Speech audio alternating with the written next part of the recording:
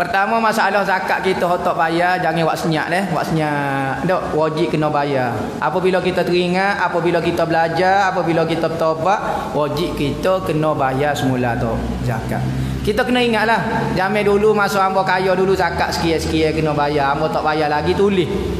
Tulis dalam buku catatan kita memo kata bayar zakat sekian-sekian. Ada duit, sekarang kita bayar selu-selu. Dah lah ni tak ada pitih dah misalnya. Okey, bayar selu-selu tetap kena bayar.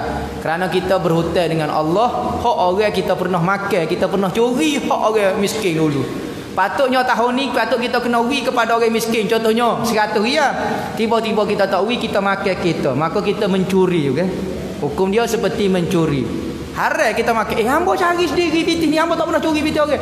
Dok, kaedah dia antara sebab-sebab haram harta adalah lalu setahun. Cukup nisab dia maka jadi haram sebahagian daripada harta kita. Kena ambil maka kita ingat okey tahun dulu 100. Patuh ni kira-kira dia lah. Ha, maka kita buat senara, tengok ada pitih bayar sikit-sikit sikit. Nampak lagu tu.